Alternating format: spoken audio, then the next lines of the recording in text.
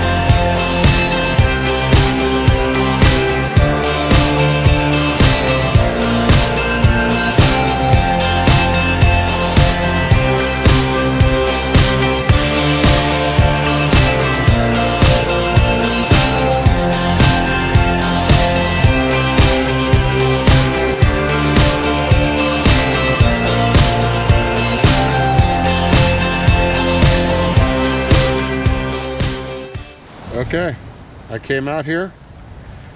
I caught some waves. I struggled on some waves. But I was out here. It was a lot of fun.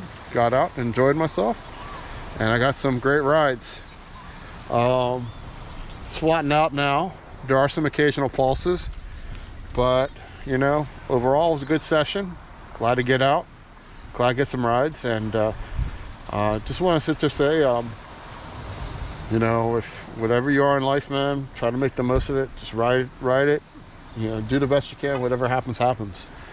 You know, it was a lot of fun today. It was a lot of fun being out here, and uh, as you always notice, I usually try to hike either alone or very few people out.